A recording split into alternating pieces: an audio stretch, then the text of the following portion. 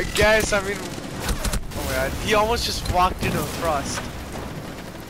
What? Bro, don't put... Don't put Dude, yourself in so another hot in my room. Uh,